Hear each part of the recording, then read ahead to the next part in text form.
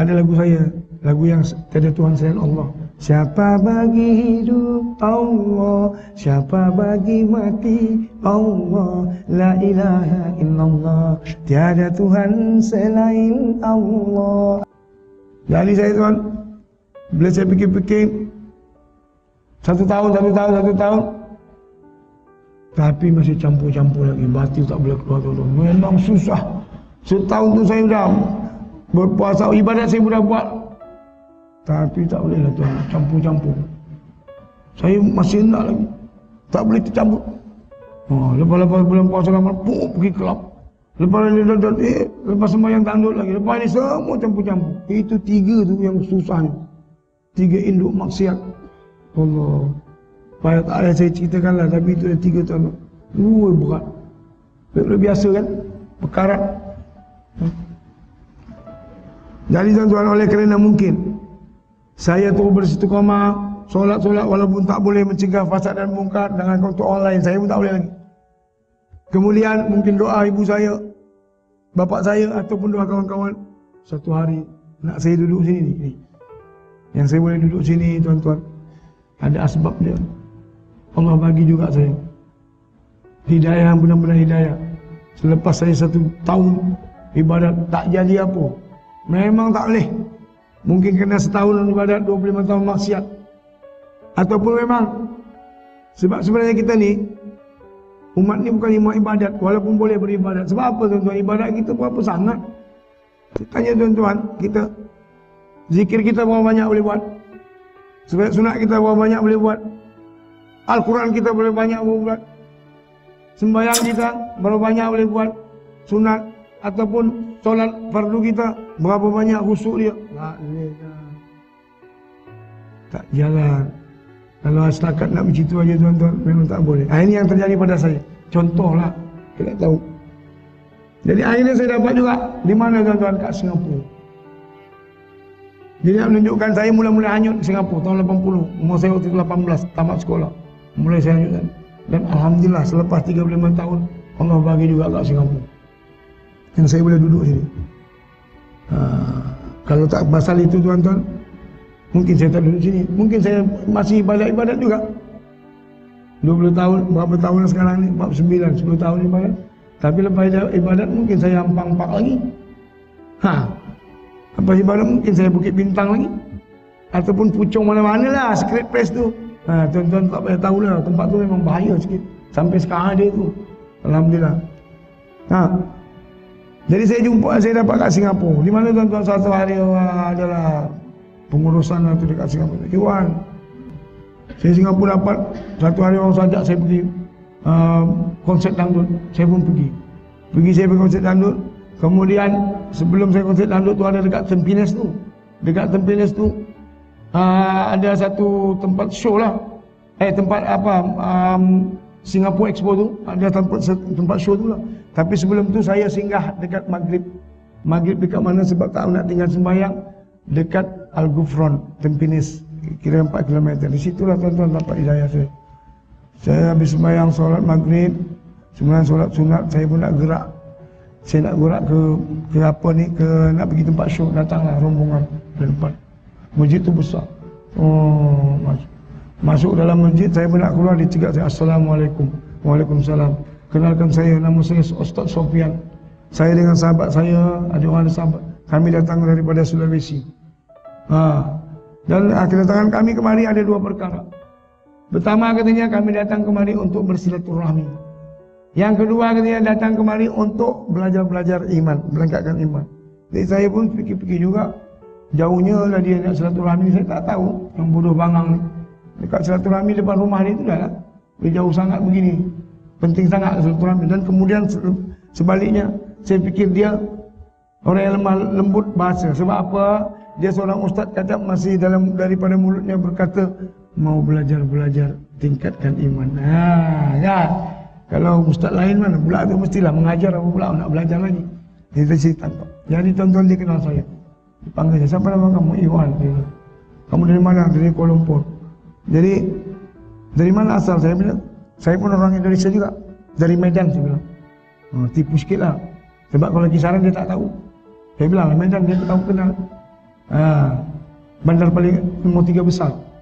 Jakarta nombor satu, Surabaya nombor satu, dua, tiga Medan. Oh ya. Lalu ditanya saya, jadi ngapain sini ya? Alamak, ini saya mula-mula susah juga nak jawab. Sebab saya nak cerita dangdut ini depan pula ustaz. Tapi saya terus terang aja, saya ini seorang saya nak buat konsep, saya ini artis. Malam ni ada konsep dangdut. Jadi saat saya bilang saya menyanyikan saya penyanyi dangdut. Wah, bila dangdut dia terus kenal saya. Oh, jadi saudara ni nama Iwan Dangdut eh? Betul Ustaz, Iwan Dangdut. Oh, yang nyanyi lagu yang sedang-sedang itu kan?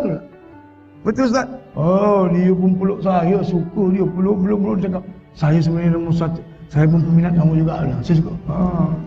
Jadi nak sebab sebab dia pun berkenan dengan saya saya tengok sebab saya solat solat lepas solat saya bukan pakai macam ni saya dah standby lah. Baju dia pun bagi tahu Iwan boleh saya bicara dengan kamu? Boleh Ustaz.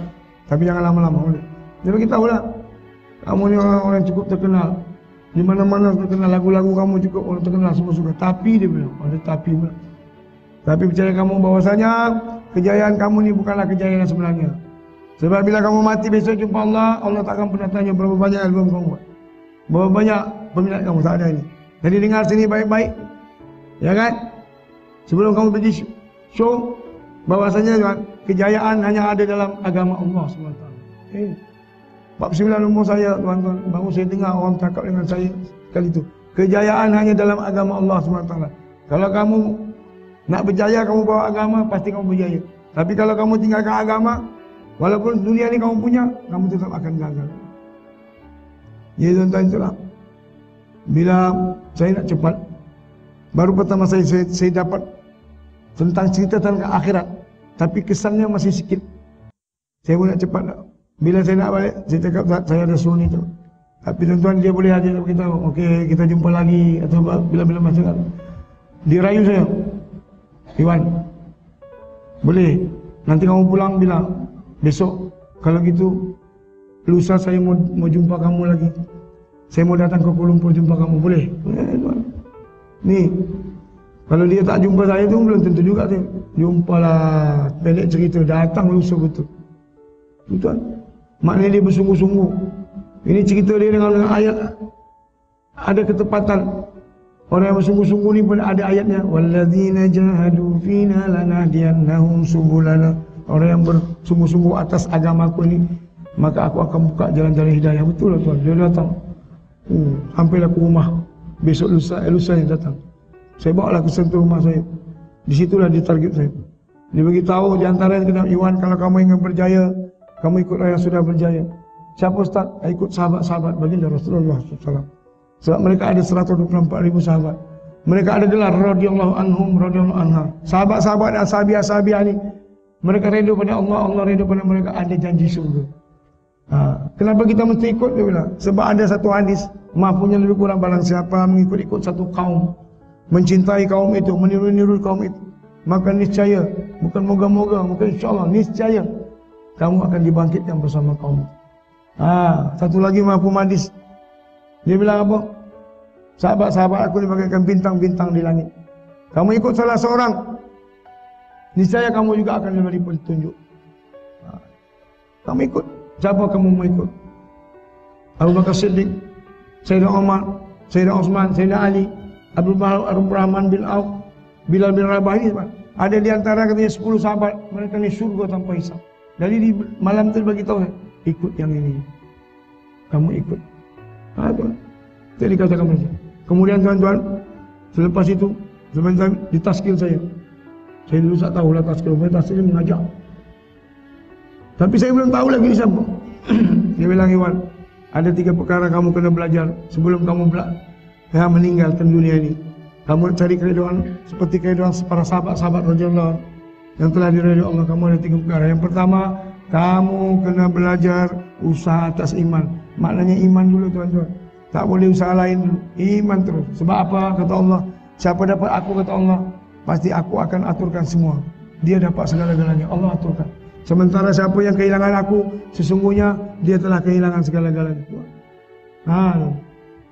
Nah, ini dia beritahu. Jadi kamu mesti usaha atas iman. Iman dulu. Iman, iman, iman, iman, iman. Sampai iman yang diridai Allah SWT. Jangan campur-campur dengan lain. Kalau kamu campur, tak jadi. Setan lebih hebat lagi tuan. Tak tidur. Ha, yang pertama, yang kedua dia bilang, Iwan, kamu kena belajar bahwasanya selama ini kamu tak sedar banyak berlaku syirik kepada kamu. Wah, memang betul 30 tahun saya tuan mensyirikkan Allah. Cuma kita tak sedar betul. Ada surah At-Taubah tuan-tuan, ayat 24. Ha, ini kita boleh berkunci. Apa kata Allah? Katakan ya Muhammad, sekiranya bapak-bapak kamu, istri-istri kamu, anak-anak kamu, saudara-saudara mara kamu, ya perniagaan yang kamu takut rugi, perniagaan ku masuk tuan. Ha, rumah besar kamu yang kamu cintai, harta kamu yang banyak, ini lapan perkara. Sekiranya kamu lebih cinta ini daripada Allah, Rasul, sepatutnya Allah Rasul cukuplah. Tapi dalam ayat ini ada satu lagi, berjihad untuk agama Allah. Ini tiga. Kalau kamu lebih cinta lapan, yang tiga, ada ancaman Allah. Fatarab basu awas kata Allah. Sehingga aku akan membuat perhitungan pada kamu. Apa dia? Azab Allah akan datang. Betul tuan, saya kena 30 tahun. Tepat. Mensyirikkan Allah sebab apa? Hubut kepada lapan. Hari ini kita kena fikir-fikirkan. Apakah saya masih lapan ataupun dah tiga? Kalau lapan lagi, berusaha kita tiga ni tuan. Allah Rasul dan berjihad untuk agama Allah. Nak nafikan yang lapan ni tuan. Kalau tidak, dia akan tetap aku, aku, aku, aku, aku, aku. Sebenarnya bukan aku tuan. Bila kita dah belajar tiga ni, kita dekat Allah, Rasul dan berjihad Allah, baru kita tahu. Allah. Yang jaga anakku, Allah. Yang jaga kerjaku, Allah. Yang jaga rumahku, Allah. Ini gitu. Tidak masih aku lagi. Katakan itu. Dan yang terakhir dia bilang dengan Pak Wan, kamu satu tahun dah, ada berapa lama sudah ini ibadat? Dia cakap setahun. Maksud, saya percaya kamu belum boleh lagi hilangkan batil-batil. Masih bercampur-campur kan? Dia tahu pula. Ingatkan kasyap ke apa? Rupanya cerita punya cerita patut dia tahu. Sebab apa? Dulu dia pun macam aku juga. Ah, itu cerita dia. Jadi bertepatan jalan dia macam itu. Sekarang Alhamdulillah masih lagi tanggungjawab agama. Di mana di Sulawesi itu. Allah Jadi tiga dia takut. Kamu kena bicara, tingkatkan iman, tingkatkan apa katanya, buang-buang syirik, belajar buang buang apa buang batil tiga ni. Nak belajar. Maka di di, di taskil saya kamu kalau nak kamu ikut macam kami buat. Saya pun tak tahu kamu buat apa. Rupanya tuan-tuan di taskil saya untuk keluar jalan Allah. Kalau kamu tengok ada surau ada orang nak keluar jalan Allah kamu ikut. Loh ikut-ikut juga Ustaz. Saya ni sudah bodoh bangga apa saya tahu. Tapi dia bagi saya saya tak tanya kamu ada ilmu ke tak ada ilmu tua ke muda miskin ke kaya sihat sakit yang penting ada tolak keinginan. Ikut saja disuruh ikut bukan suruh pandai. Ikut. Ada dia punya dalil. Ittabi'u man la yas'alukum ajran wa hum muhtadun. Surah Yasin aja dia punya dalil. Jadi pendekkan cerita tuan-tuan. Saya boleh bagi masa 5 minit lagi. Biasanya sampai saya pukul 10. Saya nak cerita sampai saya Alhamdulillah tuan-tuan. Dengan izin Allah saya keluar ya Allah. Dari situlah saya dapat. Saya keluar. Tiga hari saya keluar 72 jam. Maka saya doa kepada Allah SWT Amir, Amir Sabtu suruh doa. Ada tertib dia dah semua. Maka saya betul nangis saya malam Ya Allah, dulu saya tak tahu. Ya, Ya Allah, saya tak tahu. Maka daripada itu saya pun habis. Ya, Alhamdulillah, keluar 14 hari, 4 bulan semua saya dapat. Alhamdulillah, saya sekarang ni Allah bantu saya untuk apa? Ha, Kata Allah, siapa buat kerja agama Siapa bantu agama Allah, Allah akan bantu dia. Maka dibagi Allah saya Bila-bila saya balik keluar 4 bulan daripada Pakistan, di India Saya pun dapat buat buka madrasah. Ada madrasah saya di Indonesia. Sekarang dia 200 murid saya. Jadi Alhamdulillah tuan-tuan, mungkin lain kali kita boleh boleh lagi sambung lah. Nah, kita pasal waktu pun tak cukup, pasal 9.30 ada ada kuliah ya. Ah, Okey, baik tuan-tuan. Jadi Alhamdulillah tuan-tuan, apa yang perlu saya merayu pada tuan-tuan, mari kita ambil kerja ni tuan-tuan. Kerja yang saya cakap. Saya boleh dibalikkan Allah daripada hubud dunia kepada cinta kepada Allah dan Rasul. Sebab apa permulaannya tuan-tuan? Bila saya dapat hijrah keluar jalan Allah, keluar lagi, keluar lagi, keluar lagi, keluar lagi, keluar lagi, maka alhamdulillah